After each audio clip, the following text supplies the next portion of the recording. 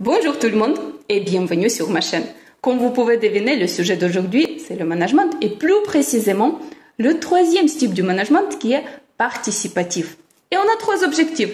Premièrement, c'est de voir qu'est-ce que c'est le management participatif. Deuxièmement, partager les suppositions aux alentours du rôle de Scrum Master. Et le point numéro 3, c'est voir les liens entre le manager et le Scrum Master. Je serai honnête avec vous. J'aime beaucoup le management et tout ce qui est autour de lui. Et je compte vraiment pour que cette vidéo soit enrichissante et bien utile pour vous. Et alors, on y va? Mais tout d'abord, la vidéo d'aujourd'hui va être construite en forme de questions-réponses. Et pour commencer, on va se rappeler d'abord quels sont les styles du management? Il y en a quatre. Premièrement, c'est directive, qui est basée sur les forces. Persuasive, sur la motivation. Participative, sur le support et délégative sur les stimulations. Et d'ailleurs, pour le dernier, il y a déjà une vidéo. Maintenant, selon les différentes sources françaises, quelles sont-elles les caractéristiques principales qui font la base du management participatif? J'en ai noté trois que je vais vous partager. Le premier, c'est le développement de la participation active de chacun dans l'équipe. Le deuxième, c'est l'écoute, l'analyse et les conseils. Et le troisième, c'est la recherche de l'équilibre entre les, intérêts généraux et particuliers. Maintenant, selon les sources anglaises, ce style s'appelle laissez-faire management style. So, what are the characteristics needed to master this management style? The first one is an immense amount of trust in your team members.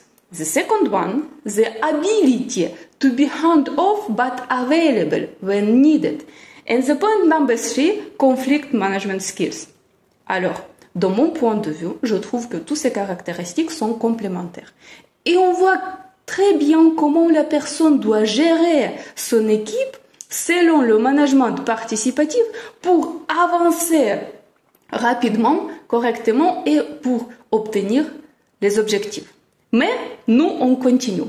Et on va avec le point numéro 2, tout ce qui est aux alentours du rôle de Scrum Master. Alors, ce qui est vraiment très populaire en ce moment. Donc, qu'est-ce qui est mandatoire pour lui? Et selon les sources Scrum.org, j'ai noté aussi trois choses. Premièrement, il doit être garant du Scrum et former tout le monde sur les règles du jeu. Deuxièmement, il doit aider l'équipe à avancer en mode autonome et à s'améliorer. Et le point numéro 3, il doit protéger l'équipe. Comme on peut voir, tout est basé aux alentours de l'équipe, aux alentours des gens, de leur intérêt. Mais maintenant, ce que je vois en vie réelle dans les équipes de Scrum, et j'ai des doutes, comme est-ce que c'est vrai que dans le Scrum, il n'y a pas de management?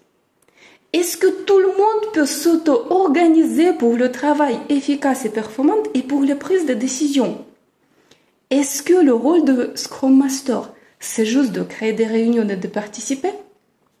Et réellement, dans les Scrum, dans les équipes, on rencontre des difficultés comme il n'y a pas de management parce que Scrum Master, ce n'est pas un manager. Les responsabilités et les engagements ne sont pas très visibles. Et au final, les personnes on voit que soit elle peut ne pas être très motivée, soit ne pas avoir envie, soit ne pas avoir les compétences pour faire bien le rôle de Scrum Master, qui au final, c'est un management participatif. Donc, aujourd'hui, on a vu beaucoup de questions et surtout les réponses.